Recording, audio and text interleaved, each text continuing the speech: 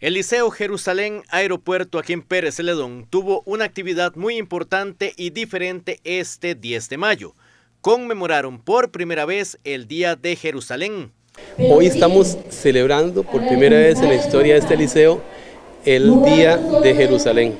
Lo hemos enfocado como una actividad de rescate de identidad del nombre que tiene la institución de Jerusalén y lo estamos eh, vinculando también con la fiesta de la ciudad santa de Jerusalén, que hoy celebran su día. Entonces, al liceo tener el nombre de Jerusalén, nos contactamos con la Embajada de Israel, nos pusimos de acuerdo y estamos en, sintonía para celebrar aquí nosotros y también tenerlos ellos informados de la actividad que estamos realizando.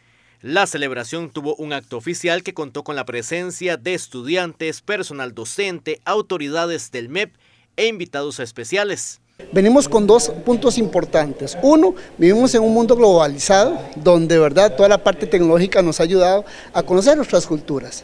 Y una de ellas es tomar de referencia la parte de Jerusalén, donde hoy pues estamos en resurgir con esa parte de la paz y hoy traerla a esta institución, ¿verdad? Que es un signo que por toda la realidad donde vivimos queremos enfatizar la paz como un signo que lleva adelante la fraternidad y el convivio entre las personas.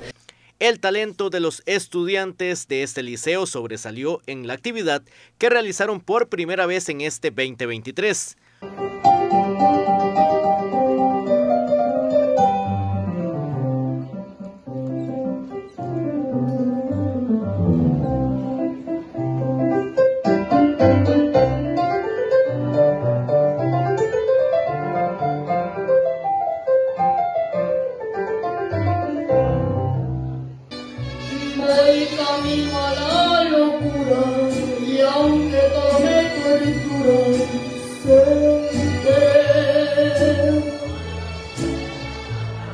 Sé Dejamos hace tiempo que no me llegó el momento de perder.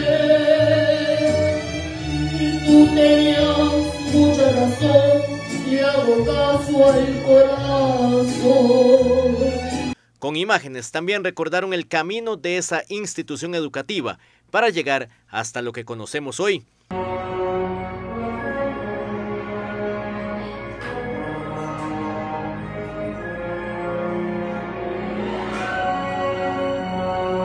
También las emprendedoras aprovecharon para mostrar sus productos. Primero que nada agradecer al colegio, ¿verdad? Por la oportunidad de poder exponer aquí nuestro producto. Yo les cuento que esto es un proyecto familiar.